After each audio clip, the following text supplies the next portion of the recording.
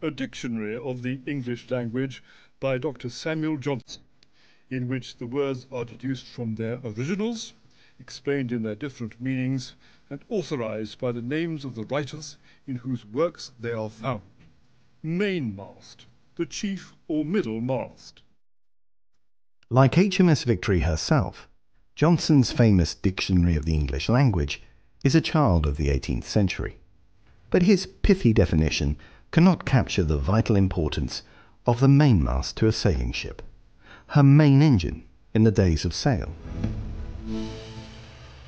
Now that main engine for Victory is in need of care and attention, and the National Museum of the Royal Navy has taken up the challenge, first removing the upper part of her mainmast to meet it. This is the enabling works uh, for the first stage of the conservation programme. And what we're doing now is removing the, the shrouds uh, and rigging associated with the lower mainmast and rearranging the dockside so that we can then remove the lower mainmast itself and then erect the scaffolding for the first stage of the conservation which is due to start later this year. This is no simple pull and push. It has to be planned step by step to ensure that stresses on both ship and mast are not too great for Victory to bear. The lower mainmast itself is a unique historic artifact which must be removed safely without damaging the ship. Step forward structural engineers Fenton Holloway of Bristol with a full analysis to see that the mainmast comes safely to ground. The, the mast of HMS Victory is essentially a big wrought iron tube with a series of timber elements attached to it. Um, it's 32 meters tall, which is approximately the height of a 10-story building, and is around 25 tons in weight. And it's precisely calculating that weight and the distribution of weight along the mast that was quite complicated because many areas of the mast are hidden or inaccessible or just very difficult to measure. We did uh, a series of computer models, structural models um, like this, which in effect you can, you can test different alternatives to support it.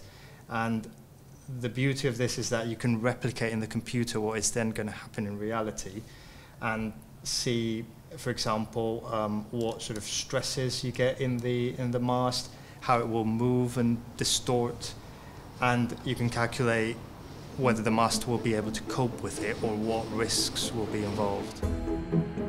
Step 1. De-rig your ship. The massive cables that support the mast and its giant sails when the ship is fully rigged must be unpicked and brought down. Imagine untangling a great length of string, multiplied a hundredfold in size and high up in the air, hanging on safety ropes. Not a job for the faint-hearted. No, you get used to it. It's something you, I do it every day at this job, so you completely get used to what you're doing and feel comfortable doing so. If at any point anyone doesn't feel comfortable, then we definitely speak up and say so. Main thing, don't drop anything. uh, we make sure that all of our tools, radios, have bits of string, tying them all into place so that nothing can fall onto deck or hurt anybody below us. And then always remember your backup would be the two things that you're thinking of constantly.